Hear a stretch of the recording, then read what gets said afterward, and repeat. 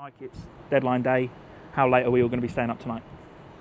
Um, well, I hope not too late, but probably yeah to, to 11 o'clock, I, I guess. But no, um, it's exciting times. We feel as though we're in a good position. We've got a lot of our business done early, but yeah, in the current situation, we're still we're still in uh, in the mix with a few things happening. So yeah, at the minute there's lots lots of moving parts, but yeah, excited and uh, just all our attention on Monday really, which is uh, a huge game for us.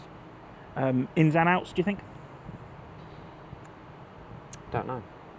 That's the honest truth. Um, there possibly could be, but mm. at the minute, I, I, couldn't shed any light of anything being close. Um, at the minute, it's not. So um, I wouldn't put it past any last minute transactions. Um, all players want to play, and if they feel as though they're not going to get the game time, then it's going to make them uh, want to, to explore other avenues. But at the minute, it doesn't seem everything's quite on that front.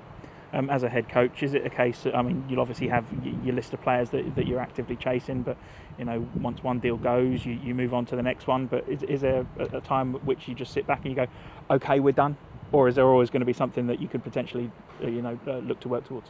Yeah, no, we've got we've got um, our our realistic targets now. I think we've worked through certain things, and um, now yeah, we're just we've got some solid um, targets that are, are, realistic, but there's many things to be ironed out in it. So yeah, I don't think there's any new things that are going to come up. Um, never rule it out, but at the minute, no, we've, we we know the type, and the, the character, the profile um, and somebody that really needs to come in and add to the starting 11. So, um, yeah, we, are firmly fixed on, on certain targets.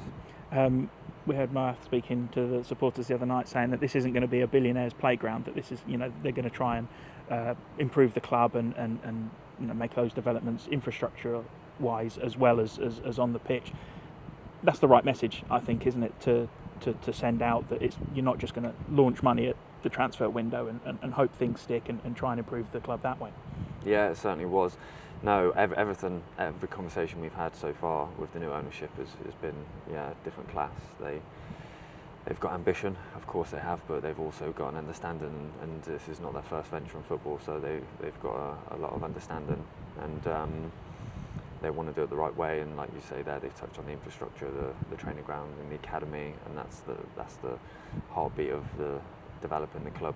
So, um, spoken on the, the, women's team as well, which is really encouraging and positive, which is a massive part of the community.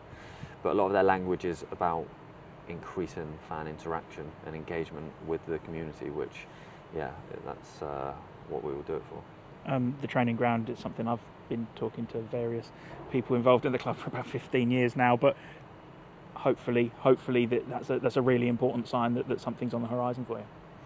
Yeah, um, it was similar at Newcastle when I was there. There was a training ground myth, or, you know, every every pre-season, but now it feels tangible, and um, the plans. Uh, I think that they're the, the plans have been in place, but now there's there's amendments to it, and there's a lot of work going on behind the scenes. But yeah, it feels tangible now. So every, everything's really um, work. Everyone's working hard, and the excitement is there. Um, a game on Monday night, so you've got a watching brief tomorrow. Are you going to be paying attention to the rest of League Two? Um, I think I'll have an hour to relax after the window, and then um, no, of course, yeah, be, we'll be watching games. Um, I'll probably try and get to get to one or two myself and enjoy that that, that opportunity because uh, we don't get that very often. But no, um, got to make sure that our prep now it's all focused on on making sure that we're prepared because we know how difficult it's going to be um, getting points on the board uh, on Saturday. A huge relief for everybody. You said it in in your, your post match afterwards. Um, it's now going to be about building on that and, and, and building up ahead of steam, I guess. Yeah, I think, of course, points are points, but you know, in terms of the way way we want to conduct ourselves and, and where we're, we're looking, it means nothing if we don't back it up. So um, I, I never really want to touch on momentum and you know I'll use the words, but for us it's just every single game win, lose or draw. Our last game, where everyone's got that full belief of we focus on ourselves, we go there, we control the controllables, we get the result, and it's just another building block. But um, it's our mentality that we know is uh, is in our control. So we know that they're going to want to rough us up. They're going to want to. When they came here, they wanted to get man for man. You know, we know Karl knows uh, you know, the club, and he's going to have his game plan. So we've got to make sure that ours is watertight. Um, as you mentioned that, that that game last season, it was probably not the start you wanted, but certainly the response that you wanted from your side. Yeah, and I think it was it was a real physical game. It was it was open, and I think it just took a couple of moments of quality from uh, certainly one from Gilbs, and um, yeah, to settle things down, and then towards the end make it feel a little bit more comfortable than we felt it was during the during the actual game. So we know we're going to have to win the battle, and that might take 60, 70 minutes like it did last time. Um, and we're prepared for that, but we've got to make sure that we, we're focused on, on our, how we can hurt them in and out of possession. It was a dogged performance up at their place as well, wasn't it, in the in the 4 2 win? It was, yeah. It was um, early on when we came in.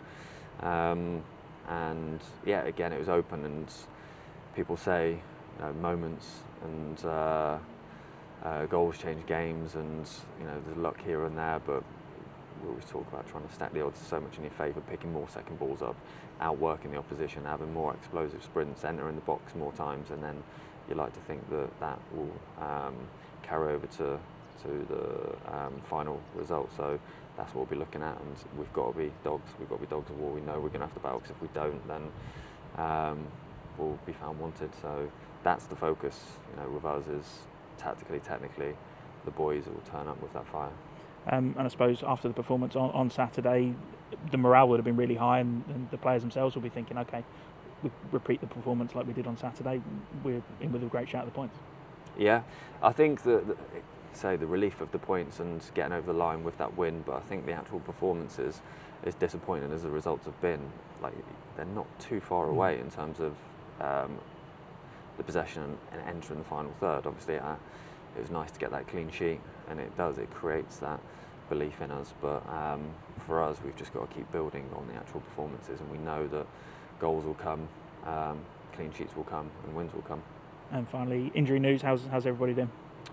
Yeah, improving, doing really well. Uh, we've integrated uh, Cal's back in, so it's still we've just got to make sure that he uh, has no reactions. Um, off he picked up a little niggle, so we're just monitoring that.